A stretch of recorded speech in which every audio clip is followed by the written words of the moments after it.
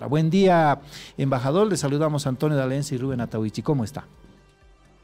Muy buenos días, Rubén Antonio. Un placer estar en La Razón Radio. Y bueno, eh, como usted explicaba muy bien, el, eh, jueves pasado, el jueves 18, tuvimos una reunión en la ciudad de Nueva York con la relatora, con Margaret White, que es la sucesora de Diego García Salillán, la relatora especial para la libertad de eh, judicial y la independencia judicial en el mundo, es parte del sistema mundial, parte del sistema de la Organización de las Naciones Unidas. Con ella intercambiamos varios criterios sobre lo que está ocurriendo en nuestro país eh, eh, y se ha venido sosteniendo una línea de buen relacionamiento con los organismos que hacen la independencia judicial y que hacen sobre todo la defensa de los derechos humanos.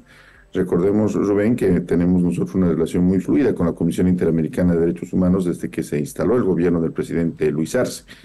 No otra cosa muestra la viabilidad del informe del Grupo Interdisciplinar de Expertos Independientes, el informe GIE Bolivia, eh, la firma de un convenio para el seguimiento a las recomendaciones de este informe tan importante para el país. Eh, hemos tenido la visita in loco de la Comisión Interamericana de Derechos Humanos hace menos de un año, del 27 al 31 de marzo del año 2023. Se llevó adelante la primera visita in loco que hizo la Comisión después de la pandemia por la COVID-19. Tuvimos las visitas para el seguimiento de la MESEG en enero y en diciembre, reciente este diciembre pasado, hace un mes nada más en, en Bolivia. Y como parte de este relacionamiento se invitó también a Diego García Sayán, el antiguo relator especial para independencia judicial, y con él se acordaron una serie de situaciones a las cuales se ha venido haciendo seguimiento. Y Margaret Stato White ha venido haciendo seguimiento y ha venido requiriendo información sobre el problema judicial en nuestro país. En el mes de noviembre eh, la Cancillería boliviana le envió bastante información sobre qué es lo que estaba pasando porque ella ya mostró su interés. Y bueno, como fruto de esta cadena de relacionamiento que nosotros tenemos, hemos tenido una reunión en Nueva York el jueves 18, donde se han analizado el contenido incluso de este comunicado que ha sido público el día lunes 22 de, de enero. Esto para aclarar de, en sentido de que mm, este comunicado, este pronunciamiento no se debe a ninguna labor de un candidato, ¿no es cierto? Un candidato de, de muy mala fe ha sostenido de que gracias a la comunicación que le había enviado hace dos semanas nada más, habría salido esta comunicación y eso no corresponde a la verdad y lo decimos con mucho respeto a don Carlos Mesa, no corresponde a la verdad. Esto responde a una línea sostenida de relacionamiento que tiene el Estado boliviano con las organizaciones que hacen al sistema interamericano, pero también al sistema mundial de eh, derechos humanos e independencia judicial. Si bien este, yo creo que sería exagerado, no, no, no, no, no sería correcto decir de que este comunicado avala la prórroga de los magistrados, eso no es lo correcto, pero no los desconoce, ¿no? Este comunicado muestra, como su nombre lo dice, experta de la ONU preocupada por el retraso en la elección de máximas autoridades judiciales. Muestra su preocupación, pero al mismo tiempo eh, reconoce implícitamente, no podría ser de otra manera, la necesidad de que esta figura se haya tenido que aplicar en el país ante eh, la gravísima situación de la falta de consenso al interior de la Asamblea Legislativa Plurinacional que ha evitado, ¿no es cierto?, la elección o la preselección, diremos, de autoridades judiciales por dos tercios de votos, como manda la Constitución.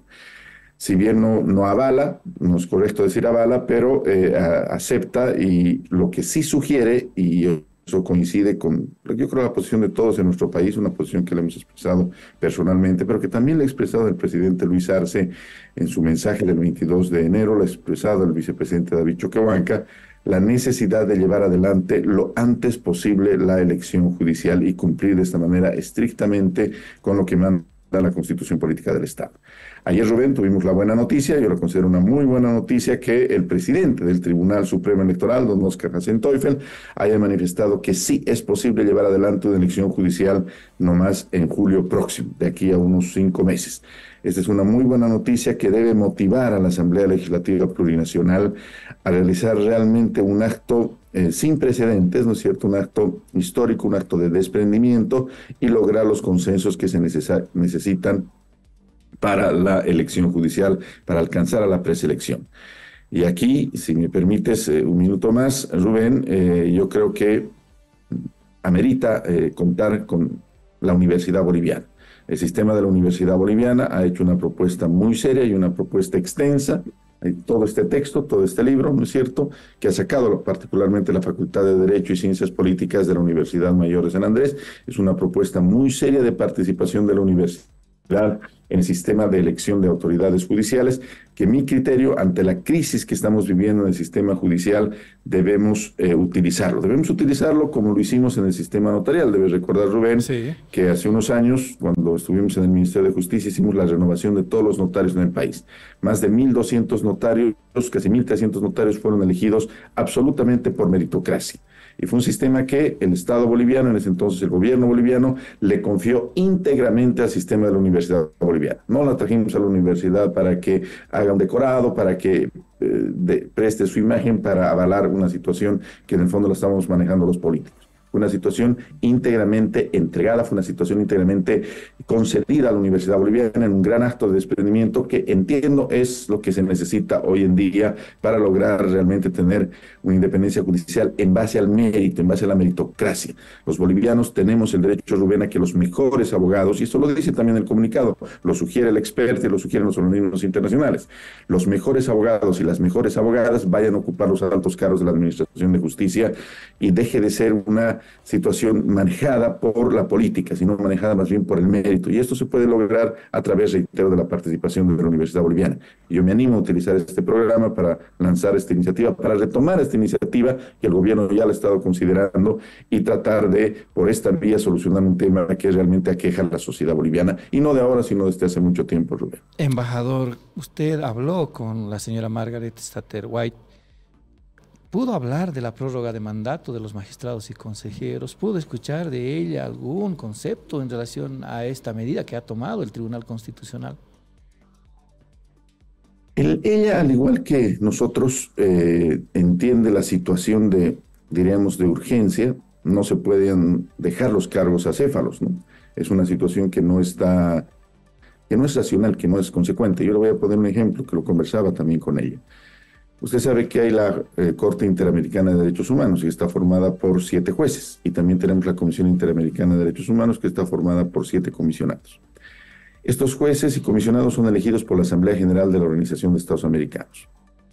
Y el mismo estatuto de la Corte y el mismo estatuto de la Comisión establece que cuando no se puede elegir a un juez o a un comisionado, el que esté ejerciendo la función continúe ejerciendo el mínimo tiempo posible, si lo dice textualmente el estatuto, hasta que la Asamblea logre elegir, la Asamblea General de la OEA en este caso, logre elegir a su sustituto. Es un poco lo que ha ocurrido en nuestro país. Quizá las vías no han sido las mejores. No es lo mejor siempre que un órgano actúe en beneficio propio, como ha sido el Tribunal Constitucional. Al menos así se ha visto. Pero bueno, es una necesidad. La alternativa es cerrar, aunque sea por unos meses, la administración de Justicia y eso no es viable, no es entendible ni en el contexto nacional ni en el contexto internacional, porque la justicia es un servicio público, pues es un servicio público fundamental, como la salud, como la educación. No podríamos cerrar las escuelas por seis meses, ¿no es cierto? No podríamos cerrar tampoco eh, el sistema de salud, no podríamos suspender el sistema eh, del Seguro Universal de Salud o suspender el sistema de salud por seis meses. Sería una, una situación inadmisible.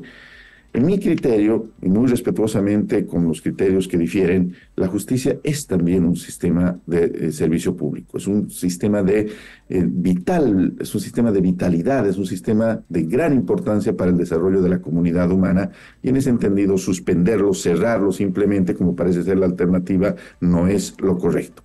Lo correcto es cumplir la Constitución y cumplirlo de buena manera y ahí se necesita un gran acto, reitero nuevamente, eh, Rubén Antonio, se necesita un gran acto de desprendimiento de la Asamblea Legislativa Plurinacional.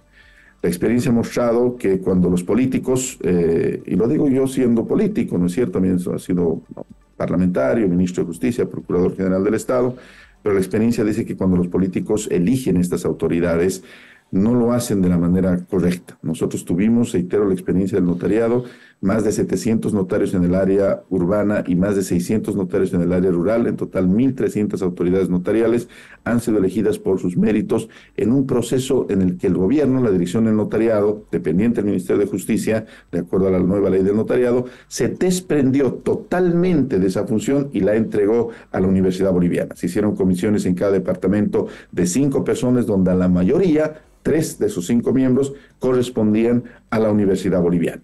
Y el día de hoy, juzguen ustedes cómo está el sistema notarial. Ya no aparecen muertos firmando poderes, ya no aparecen notarios procesados. Ha cambiado el sistema porque se ha se le ha dado prioridad a la meritocracia, a la capacidad personal de las personas para que cumplan esta función. En nuestro criterio, lo que falta en Bolivia, lo que debemos hacer es repisar esa experiencia en la elección de máximas autoridades y ojalá más adelante también en las autoridades intermedias. Yo creo que el proceso constituyente que hemos vivido en nuestro país ha sido un proceso muy razonado, muy loable, que ha tratado este tema. Y justamente la elección de las autoridades judiciales por voto popular es una respuesta a lo que pasaba en nuestro país durante muchos años, durante décadas, donde la justicia era coteada. Recordemos cómo eran los pactos anteriores entre el MIR, el MNR, el ADN, donde coteaban los tribunales, la Corte Suprema de Justicia, como se llamaba en ese momento, el Tribunal Constitucional anterior, y este coteamiento, este loteamiento de la justicia se reprisaba en las Cortes Departamentales de Justicia y se reprisaba hasta los, hasta los jueces. Incluso, y lo sabemos quienes somos docentes universitarios, para ser oficial de diligencias, para ser secretario, uno tenía que tener una credencial política justamente como rechazo ante esta situación es que el constituyente, la Asamblea Constituyente de nuestro país, define el cambio del sistema de elección y plantea originalmente, recordemos, una elección directamente por el Tribunal Supremo Electoral, sin el paso por la Asamblea Legislativa Plurinacional que se ha convertido en el gran cuello de botella que ha intervenido y que ha impedido que hayan estas elecciones judiciales. De acuerdo al proceso constituyente en su sentido original, directamente el Tribunal Supremo Electoral calificaba los requisitos, no los méritos, y era el pueblo el que elegía. Bueno, pues el condicionamiento de la oposición hizo que se ponga un paso obligado por la Asamblea Legislativa Plurinacional, que es donde se ha generado el problema y que es donde debe generarse la solución con esta propuesta que yo entiendo el, gobierno también la, comparte, ha habido trabajo con el sistema de la Universidad Boliviana, el Ministerio de Justicia lo ha hecho de esa manera y nos parece que es la solución ante esta emergencia que nos ha generado esta, eh, esta crisis judicial, pero obviamente actuando bajo los principios de la razonabilidad y bajo el criterio de la misma relatora, ¿no es cierto?, que nos ha dicho, eh, nos ha expresado con mucho criterio lo que compartimos nosotros, que este interinato, llamémosle así, esta prórroga, debe ser lo más breve posible para lograr finalmente la elección judicial este año, como felizmente ya lo ha adelantado en su posibilidad el doctor Jacen Embajador, eh, anoche también el ministro de Justicia, el señor Iván Lima, informaba de que la relatora, la señora Margaret, podría llegar al país en los próximos meses. ¿Ha conversado de esto usted con ella? Así es. Se trataría de una visita académica. Eh, Margaret eh, Statterwhite es una investigadora muy prestigiosa, además de ser una gran personalidad en materia de derechos humanos e independencia judicial en su condición de jurista internacional, es una gran investigadora del Estado plurinacional. Ella nos ha comentado que él tiene gran interés en conocer las características del Estado plurinacional, la, plurinacionalidad como una forma de organización de la sociedad, que es algo muy llamativo en el contexto internacional. Hay mucha gente que le interesa. Yo mismo he estado en la Universidad de Valencia muchas veces en, foros, en simposios, en, eh, en grupos de estudio donde se han analiza el sistema boliviano de la plurinacionalidad como un modelo de Estado a reprisarse en otros países. Y desde ese punto de vista nos ha mostrado su interés en visitar académicamente el país, lo va a hacer seguramente en los próximos meses, y también hemos transmitido la eh, inquietud del presidente del Tribunal Constitucional Plurinacional de Bolivia de reunirse con ella, obviamente eh, darle mayores antecedentes sobre lo que ha significado este proceso casi de emergencia que hemos tenido que vivir lamentablemente en nuestro país, a lo cual ella ha accedido.